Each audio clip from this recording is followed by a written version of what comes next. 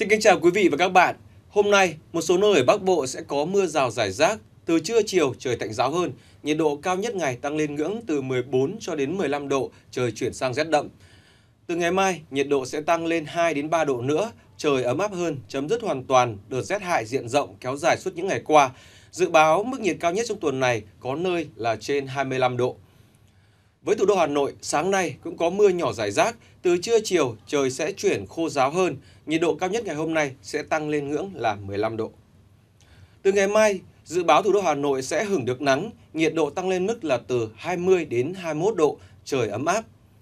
Ở miền Trung, sáng nay, các tỉnh thành từ Thanh Hóa đến Thừa Thiên Huế còn nhiều mây, từ trưa chiều trời sẽ hưởng nắng nhẹ, mức nhiệt ở Thanh Hóa đến Thừa Thiên Huế ở ngưỡng từ 16 cho đến 22 độ.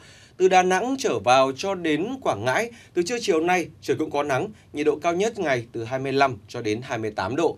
Các tỉnh từ Bình Định đến Bình Thuận, trời không mưa, nắng sớm, nền nhiệt ngày cao từ 28 cho đến 31 độ. Thành phố Đà Nẵng, sáng nay cũng có mưa rào ngắt quãng nhưng cũng tạnh giáo nhanh và lúc này trời đã có nắng. Vì thế, nhiệt độ cũng tăng lên, cao nhất trưa chiều nay sẽ ở ngưỡng từ 25 cho đến 26 độ, trời mát mẻ. Nơi có nắng rực rỡ nhất vẫn là khu vực phía Nam, bao gồm Tây Nguyên và Nam Bộ.